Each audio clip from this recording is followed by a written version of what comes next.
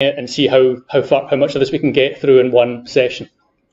Uh, so preliminary remarks. Um, as, as, I hope you all know when you signed up, this course is uh, is taught in English. Uh, regrettably, the problem there is is me. I don't know Icelandic. Uh, I'm trying to learn it. I go through. I've been in Iceland for years, but I worked at an English-speaking company. I never really hear Icelandic, and you know, of course, Icelanders, especially young ones, are also good at English. That the incentive to learn it is not good. Uh, people will always talk to you in English. So, um, but I am trying to learn. But uh, I'm at the rudimentary stages, and there's just no way I could possibly teach. I mean, I, I can't. You know, I can. I can almost go to Bónus and speak Icelandic. Uh, that's that's the level I'm at. So the teaching has to be in English. Um, so I apologise for that. I'm sorry, but I hope you can handle it. Um, not only that, not only it will be done in English, it will be done in Scottish English, which is is even worse, and I, I am conscious of that. Um, so if you have problems understanding me because you know the accent, or you know maybe I, I speak a bit too quickly for you, at any time, if, if, I'm not being clear, just put your hand up or shout out. Uh, I, I, might even use, um, there are some words in the Scottish vernacular that are not common in English. So I might say like a phrase that you don't know the meaning of or a, an obscure word. Again, in all cases, just let me know and I'll try and clarify what I'm, what I'm saying. Uh, okay, I'm sure there are some other things I ought to mention at this stage, but they've fallen out of my head. So I think we'll just get into the, uh, the material. Uh, so the way I do this is I've got a bunch of slides that I've created for the course and they're hosted online and I'll give you the URL to those at the end of each lecture. So that allows you to revise them by just looking at them after the fact. So that means you don't really need to take notes or anything. You know, everything that you see projected here, you'll have access to yourself. Uh, so that's hopefully useful. Um, and that's probably all I need to say to get started. So let me just switch across uh, to, I shouldn't really be doing that. Um, that one there. Okay. So we'll begin now. So here you are, uh, TOL 308G. Um, and uh, I've got some instructions here on these slides. This is to kind of let you know what you do if you're reviewing the slides yourself. So this is a slideshow. It's all done on the web, and uh, it just you page through the slides interactively. So you press space, and you get the next little paragraph comes up. This system ought to work in any contemporary browser. I personally use one called Brave. Does anyone know about the Brave browser? A couple of people. So it's it's derived from Chromium, so it's, it's like Chrome, but it's got some of the kind of Google ad tracking stuff pulled out of it. It's a slightly kind of privacy-focused anti-advert, uh, you know, built-in ad blocker type of thing. So that's the one I use which I tried to install here, but it wouldn't let me. Uh, so I'm having to show you this in Chrome, which is tolerable, and they're fairly similar. Uh, so um, this is kind of historical info from when i have done a version of this course in the past and found that the Firefox browser didn't always agree with this slideshow. It would get some things wrong. That's probably not the case anymore, but just in case you have problems, I, I can vouch for Chrome working and Brave working. The others are probably fine, but I, I wouldn't know. All right, so here we are. What are we doing? Well, uh, as, as should be clear from the title, it's a course in computer game programming. That's easy enough. But also, specifically, it's more about the, the kind of technical side of things. Um, it's kind of engine level tech and very programming focused. It, not in the first week. The first week's actually a bit different, where I, I kind of uh, set the scene and, and cover some historical background things. But the course itself is very programming centric and is all about building up week after week as you will write code that gets you closer and closer to being a real game. And by the end of the course, the hope is that you'll actually have made a, a proper, legitimate computer game that you can show people and uh, and play and have fun with. Uh, so having said that, it is just about the, the tech side. So it's not about game design. I don't kind of discuss that at any length. It's not about issues of art or production. When it comes to getting art resources, you know, do what you like, just, you know, get public domain art or, you know, just kind of random scribbles or something, programmer art as we call it, right? Uh, I won't I won't be judging you on your uh, your artistic ability. To, to some relief, it would appear. Um, and it's not about things like production and all those other disciplines, audio. Um, that's that's not where we are. But as I said, it's really about engine tech and the things that make games actually work uh, under the hood. but having said that, uh, it's also not about using third-party engines. Uh, you sometimes get modern game programming courses. What they do is they, they teach you how to use like uh, Unity or Unreal things like that, which are these pre-existing engines that are now very sophisticated. And that's that's fine. That has its place. That's one way of doing it. But I find that if you throw people in with all that stuff, there's there's kind of a bit too much magic in the box. You know, the game engine is doing all sorts of fancy stuff that you don't necessarily know much about. And when you're using the game engine, it's a bit more like you're, you know, you're using a database or a spreadsheet. You know, it's, it's some somebody else's big system, and you're just putting stuff into it. And that's not really what I wanted to to do in this course. I wanted to, to build your own engine, basically. A primitive one, of course, but enough that you understand how things really work. So in that sense, uh, what I want you to do is be able to make a computer game from scratch, so to speak. Uh, now, there's a famous quote about doing things from scratch by a guy called Carl Sagan. Does anyone know who Carl Sagan was? You do? Oh, you're all educated people. That's good. So this is from uh, from Cosmos, the series he made in the late 70s, early 80s, recently remade by Neil deGrasse Tyson, but I think Carl's one was better. Uh, so this is a, a, a, clip from that program where uh, Sagan was discussing what it, what it means to make something from scratch. If you wish to make an apple pie from scratch, you must first invent the universe. Thank you very much.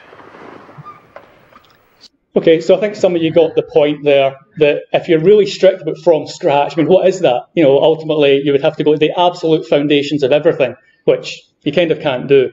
Uh, so it's a relative term. And I'll just sort of paraphrase what he said. If you wish to make a computer game from scratch, you must first invent the universe. Well, that's, that's not what this is a course in as such, although maybe there's a point where we'll talk about it. Um, but what I mean by from scratch is that we're not using third-party engines. Uh, we're not even using frameworks or libraries uh, that exist. And we're just going to write like every every line of the code for the game will actually be sort of handcrafted. Now, I say every line, again, what does that mean, right? Because uh, there's, there are definitional questions there. The, the way we're going to make the games in this class is we're going to make them run on the web because it's just such a convenient delivery platform. You know, instead of having to like install an executable and then decide, you know, whether it's for the Mac or the PC or the various hoops you have to jump through, you just put it on the web and then it kind of runs on anybody's computer mostly. Um, but we're not going to write a web browser. So we're not really writing every line. And uh, we're not going to write our own compiler for the language that we're using. And we're not going to write our own operating system. Those are all things that are happening under the hood. Or the firmware that's inside the, uh, you know, that, that the operating system is built on top of. Or the microcode, which is the thing that defines what the instructions are inside the chip. They are actually programmed nowadays sometimes. Um, and we're not going to design our chip. So you can see that, you know, it, there's a big stack that you're always building on. You're never really doing things from scratch. So if that's the case, that we're not doing it from scratch, why not just say, to hell with it, and, and put, an, put one layer on top and, and take an engine and build from there? Well, that's not unreasonable, but it would make things too easy, because the engines do a lot of the hard work. And uh, you won't learn as much, I think, because you, you know, again, as I said, too much of the magic is hidden from you. Uh, but pragmatically speaking, if you were trying to make a game in the real world, you know, to earn a living or something, you'd certainly be worth thinking about should I build on a standard engine? And if the thing you're doing is within the scope of those engines, you probably should nowadays. I mean, they're not even expensive anymore. A, a lot of them, they, they, they're actually like nearly free and they just take a cut if you get very large sales numbers. That wasn't always the case. I remember back in the day, I worked on things where if you wanted an engine license, it cost you a million dollars to get to, to, to be able to use Unreal in your game. Um, but it's all very different now. Nevertheless, I still think that building your own engine level stuff is, is a good thing to do. You'll learn a lot from it, and that's the way we're going to approach this course. So the idea is, when you're finished with this course, you'll be able to make kind of uh, arcade-style games, not like a not a totally contemporary game, of course. They're too complex. They require hundreds of people working for years. So you'll be making the kind of things that were made in the 90s uh, you know, arcade games or kind of games you maybe have some nostalgic awareness of from when you were young. Not quite sure, depending on your age. Uh, but that's the kind of level of thing that we'll do. Because it turns out those kind of games can be made nowadays and will run on the web, even though the web is kind of inefficient, you still get away with it. They can run on the web, and a small group of people can make one in a couple of weeks. That's that's the way things are now. And having done all that, you'll know a bit about how engines work. You'll be able to evaluate real world engines and uh, have more of a sense as to what they're doing.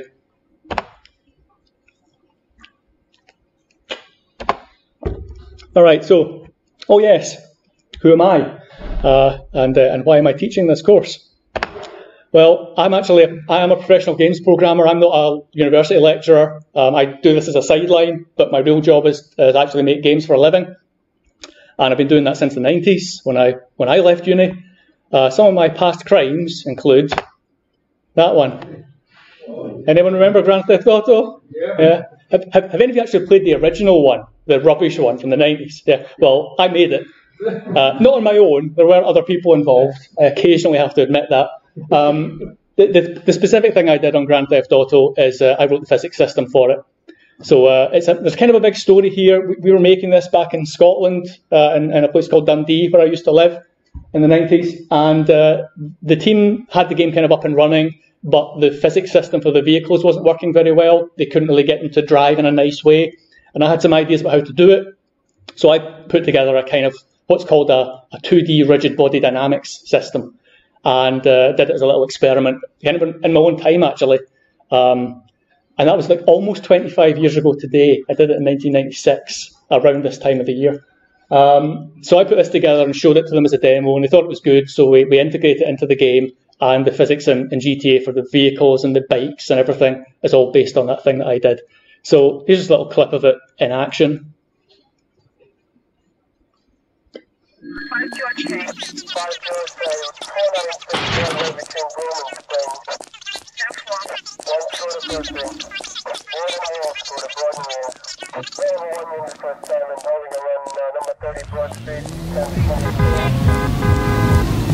So at this point here, when the cars are just driving along the road, as you probably can realise, they're kind of on rails. You know, they're just following like a pre-programmed path. They're not really driving. But when you steal one or crash into one, it switches on the physics system, and then they actually try to like really simulate the behaviour of the car. So it works out, you know, the friction on the tyres and all this kind of stuff gets computed in a kind of simple way. That's what happens here in a minute.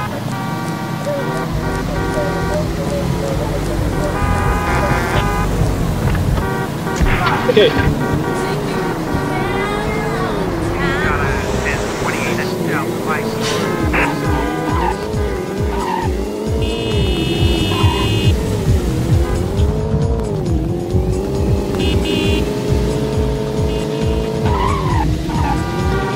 one little thing to notice, things that there when it when it did the skid around the around the corner, there's nothing special going on there. Uh, the skid just comes out of the physics system. Previously, what they tried to do is detect, you know, if you're going above a certain speed and you turn like a large amount, then it's kind of, you call the skid function and it does a bunch of stuff that makes you skid, but it would never quite work. It was always too kind of twitchy and it, you know, it wouldn't always trigger properly. Whereas with a, with a physics system, the skid is just a natural consequence of the forces that are happening. So it all just kind of happens without any special behavior. The only special thing is we then had a bit of code that would try and figure out if you were uh, if you were kind of moving in a skid-like way so that it knew to play the skid noise and to drop the little marks. But that was that's after the fact. You know, the system would try and detect that the if the friction on the tyres was above a certain amount, then that probably meant you were skidding. But the skid behaviour itself was just emergent behaviour that came out of the physics. So that was how all that worked. Um, then a couple of years later, in the late 90s or early 2000, I did a thing called Wild Metal Country. That's uh, again with a small team of like you know four programmers and four artists, um, and we took the the ideas from the GTA physics system, extended them into three dimensions, which is still quite novel at the time. But remember that this was quite this was quite early days for 3D stuff, and uh, and we created a 3D tank combat game that's happening on some alien planet somewhere and um, this is actually the, my favourite of the games that I've made uh, personally.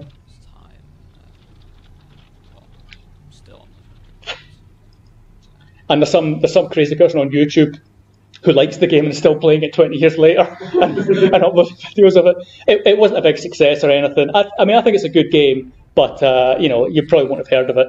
Um, we also had like a multiplayer mode. You could play this on a LAN with like eight people. That was that was the way it was at its best on a LAN. It was a real lot of fun driving around shooting your pals at, at lunchtime. That's what we did while we were developing it. And there's some nice things going on here. There's some quite good AI, like these uh, flying craft are tracking you, and the AI has got kind of an emotional state. It can be you know, aggressive or fearful. They can gang up on you. They can sort of realise whether they're winning or not, and that changes their own behaviour patterns all of which was quite good for its period. There are some deficiencies as well. You probably noticed that the, the texturing is very repetitive. That's because very limited memory back then. We only had a couple of megabytes worth of texture space. So the, the terrain is a big regular grid and the tiles have to be reused across it, which is just sort of the way things were back in those days. We also had to write this game so that it would work whether or not you had a 3D card. Um, in the 90s, 3D accelerator cards were not universal yet. They were like a new thing. So you had to have like a software renderer where you actually drew all the pixels. Uh, you know, explicitly you had to write triangle drawing routines and everything like that. Uh, and then, but this is running in hardware, so this could also run under, you know, Direct 3D or those sort of 3D APIs that we have nowadays. So that was uh, that little game. Uh, then, um, does, anyone, know about the Dreamcast? So the Dreamcast was a, a fairly short-lived console from again early 2000s. It was a competitor with the what, the PS2 probably, um, and we, we ported Wild Metal to that and had to make some changes to make it fit on this uh, separate device. Uh, the, by the way, the, uh, the the Dreamcast was a, a Sega Microsoft co-production, and I think they kind of fell out with the companies fell out with each other as they always do and Microsoft said, screw this, we're making our own computer. And that's where the Xbox came from. Basically, it was the, the aftermath of the Dreamcast. Um, so I won't show you that. It's the same idea, but just on a different piece of hardware. Um, then I continued to work on Scotland. We, then we heard of Crackdown, the Crackdown games that are on the, the uh, Xbox. So I worked on those. I won't show you to at length, but it's a this is a kind of uh, urban chaos game. You're a superhero guy. You run around in a city blowing things up. Those two words rhyme. Uh, the same holds true for another game. Called killing of the innocent is unacceptable, Agent. As I'm recording this, Crackdown 2, the sequel to this game, was just released, and I figured before I play Crackdown 2, I should play the first one. And this game was donated by Nick in Des Moines, Washington. A first impression. Anyway, that's better left for. So anyway, Crackdown's a kind of a bit like a a bit like GTA 3 or something like that, but with like a superpower, superpowered protagonist. That was sort of what was going on there. Uh, then the next thing I did, again, back in Scotland, was one called APB, All Points Bulletin, and it was again, to me, APB was like a, a, a an MMO game, you know, massively multiplayer game, uh, supposedly. And basically, it was our attempt, I would say, our attempt at doing GTA, GTA Online before the GTA guys did. Uh, I should point out at this point, although I'd worked on the early GTA, um, subsequently that was done by a, a, separate team in Edinburgh, and I stayed in Dundee working on a, a kind of rival company. Um, and APB was our kind of GTA like thing. And this is just someone uh, mucking about with it and making the cars behave in a very silly way. Uh, this is not realistic gameplay. I think they've tampered with it. This was somebody like editing it for fun, just to muck about.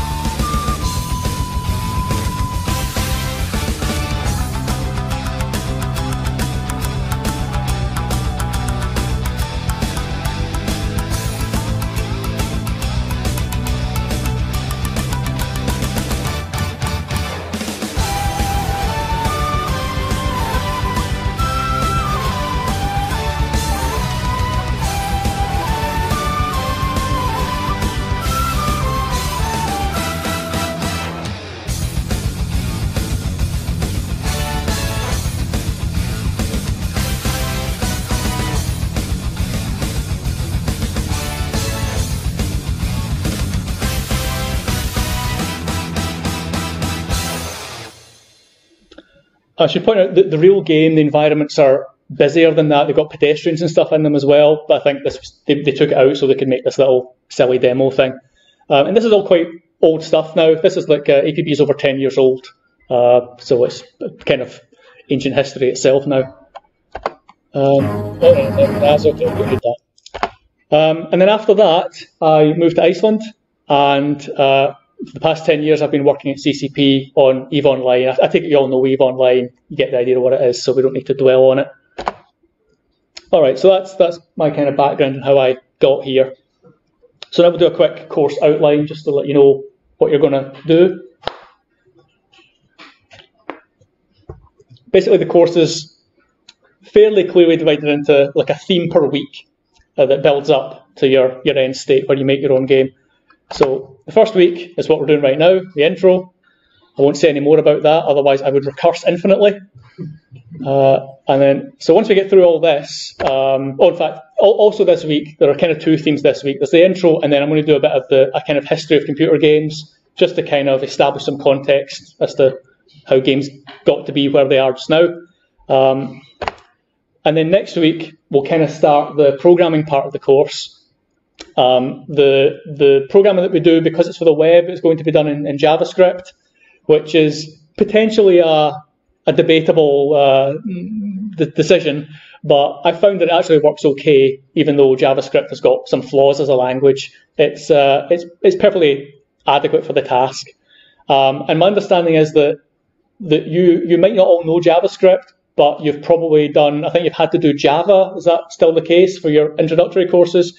Now, JavaScript is not Java, um, but there's enough similarity that if you know the syntax of one learning the other's not terribly hard. So next week I do a kind of quick crash course to get you up to speed with JavaScript, uh, assuming that you already know Java or, or C++ or something like that. Um, and, I, and I'll do enough about HTML5 to teach you the things that you need to do the, the kind of graphics and stuff that we're going to use in the course. So that'll be next week. Uh, then we talk about the main loop, which is the kind of inner logic of a game, the thing that makes handles the way time passes and how the whole the whole thing cycles. Uh, then we'll have a look a bit, a bit, of a look at rendering. Now, when I say rendering, I don't mean fancy 3D stuff. Uh, this course is predominantly going to use 2D graphics to keep it simple, and because literally 3D graphics is its own subject, and I believe you have one, don't you? There's a 3D graphics course here. Um, I, I kind of part of me wanted to put 3D in but I'd have to add like weeks of extra material to explain it all, and that would push everything else out. So I've decided to focus on 2D graphics and 2D games with the understanding that once you know how to do that, extending it into 3D isn't that big a deal. You just add one more D. You just, you just, you just add a Z. You've got your X and Y's, put a Z on, that's it, 3D. Uh, there's a bit more to it than that, but then that's what your 3D graphics course will help you with. Uh, Okay, then we look at simulation updates, because rendering is one part of games, but the other part is how you make the, the world inside the game evolve over time. You know, things like how your collision detection might work, or how the objects, you know, move through space over time, or all the other stuff that's going on. So that's that part of it. And at that point, you know enough to basically make a game. So by about five weeks in, we'll do that. We'll, we'll make a quick game in class, hopefully. Uh, then we look at sprites, which is that little graphics technology that was used in the old days for 2D stuff that we'll be making a lot of use of. And then into the second half of the course, it gets a bit more advanced. We start looking at things like uh, like physics and dynamics, not to the level of our full rigid body dynamic system, but something close to it. You learn a bit about how to make things uh, move around in an interesting way. Then some technical things, memory management, object lifetime. These are quite subtle things that we, you need to know about. Collision detection, okay. Uh, forgive me for just reading out the slides, by the way. I know it's slightly bad form, but I have to tell you what's going to be here, and I want the slides to be a record when you're when you're revising. So there will be a certain amount of me just echoing the slides. Uh, okay, diagnostics, you can read that. We'll talk a bit about networking. It's a really interesting topic. You know how you create a multiplayer game, especially if the players are distributed across the planet, how you coordinate, you know, the getting all the messages from one machine to the other so that everyone kind of agrees, sort of, on what's going on in the game. I'm sure you've seen the consequences when that goes wrong when you're playing multiplayer games. Uh, we'll even talk a bit about AI. Now, again, AI in its fullest sense is, of course, its own huge subject, Uh, and the kind of so-called AI that exists in games is actually usually fairly simple. You know, it's just route finding basically. But I'll talk a bit about that and some parts of the, the what I think are the more interesting parts of AI, just for completeness. Uh, even though game AI is, is still at a fairly primitive stage in a lot of ways. Okay, some other things, and I'll, I'll, maybe say a bit about how Eve works because it's a, a really quite peculiar game. Eve behaves differently from uh, any other game that I uh, know about. Uh, so as I've said earlier, the, the way this course works is um, I will make these slides available to you, and the lectures are me going through the slides and talking about them. Then I'll provide you with the link so that you can revise them because the, the exam basically focuses on uh, did you remember what I taught in the, the lectures? That's what that really is all about. Um, we also have tutorials, and the tutorials are hopefully more interactive where you can come along and talk to me about stuff. Uh, of course, in general, once we get up and running, there will be a homework exercise every week, and part of the tutorial will be you come along, and if you're having problems with the homework or questions, you come and ask me about it. Hopefully, we're going to get a teaching assistant as well, and uh, she'll be here and we'll, we'll help with that too. But also, any questions that come out of the lecture material that you just want to talk about a bit more or, or have clarified, the tutorials are where we try and deal with all that. Uh, yeah, so as I say, there'll be weekly programming exercises, and they, they build on each other. They, they sort of cumulatively work towards being a, a game at the end. Uh, and when it gets to the final grade, it will basically be a three-way split. Uh, the exact percentages I'll, I'll, clarify with you later, but basically about a third of the course will be uh, a third of your grade will come from the homework assignments. A third will come from the final project, which is uh, actually uh, the idea is that I'll put you together in groups of maybe four people or something, and you make your own game kind of of your own choice, although I have to I have to sort of check that it's a reasonable idea. But uh, basically, you make your own little game. That'll be a, a, third of the grade, and then the other third is the final exam, which is the part that kind of tests whether you were turning up to the lectures and paying attention. And uh, that exam, yeah, it'll be a closed book thing, and uh, is basically a, mostly is about revising what you see here. It might contain a small amount of programming work, but it won't really be a programming centric exam because you'll have done a lot of programming in the homeworks and in your project. Okay, so that was about me. Um, about you, I've looked at the the sign up thing to get an idea as to like what courses you're coming from and what year of study you're in. So I think most of you appear to be second or third year computer science students. You nod along if that describes you, your second or third year. Okay. Is anyone not like that? I think we maybe have someone from like another discipline, like a chemist or something. Hello? Yes? Uh, what are you? Um, You're, I'm doing a PhD. Oh, right. Okay. Oh, well, nice to have you here. Hope you enjoy it. And are you a, a non-CS? Uh, no, just technically a fourth year because I... Oh, right. Okay. All right. So I think, but I think it's, it's mostly CS people. Uh, that's fine. And a couple of other people who wanted to be here. You're more than welcome. Um, do you all have your own personal web space available on UGLA? Uh, my understanding is you, that you do. Is that yeah? That's good. So you won't need that to begin with. Uh, the first couple of weeks, the homeworks are going to be done through a website that will point you at. But at some point, you'll be doing stuff that's complicated enough that you'll want to host it yourself on your own web page. So uh, you'll you'll have to use that uh, a couple of weeks from now. Um, tutorial groups. So this is the thing where um, sometimes the class gets split into two different tutorial groups, um, and you each have like your own, you know, two-hour tutorial block. The thing is, the class this year being only about 50 people, it might be possible that we only need one tutorial block. Uh, so I'm not sure. We'll still check with the admin people as to whether you get put into like tutorial group A or tutorial group B, and uh, we'll just need to see how that comes out in the scheduling. I don't know yet.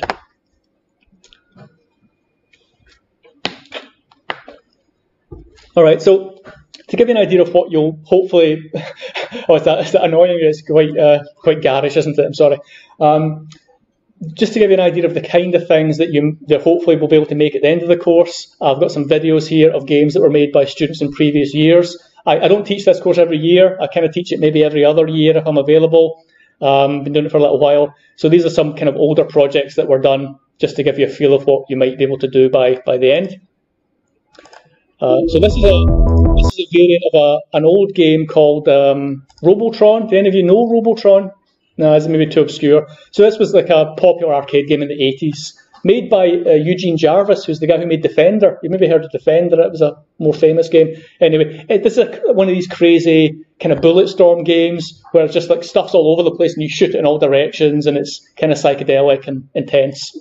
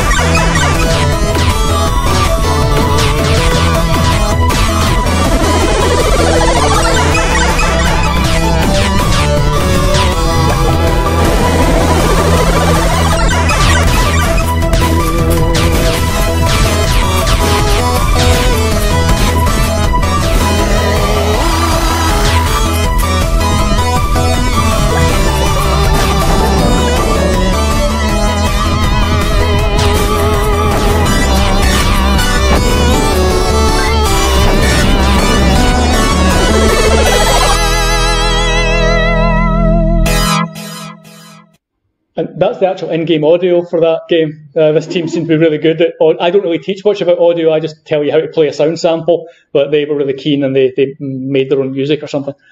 Um, uh, so this is another nice one. They're an old arcade game from the late 80s, I think, called R-Type. Anybody know about R-Type? No. Again, it's maybe too obscure now, but it's, it's, I used to play this in the arcades myself. Uh, I really like this one. It's a horizontally scrolling space shoot 'em up game thing and the, one of the teams made a clone of it. The hardest game of my life.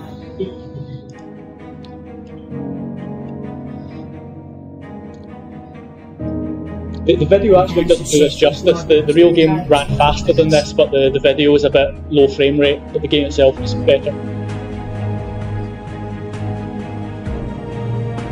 Explore breath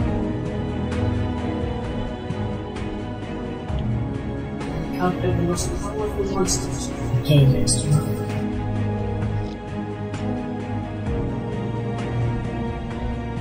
Do you have what it takes?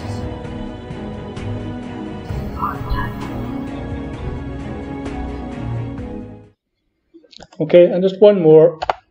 This was a slightly different style. This one is called the Gerbil Space Program. Um, I think you get the idea.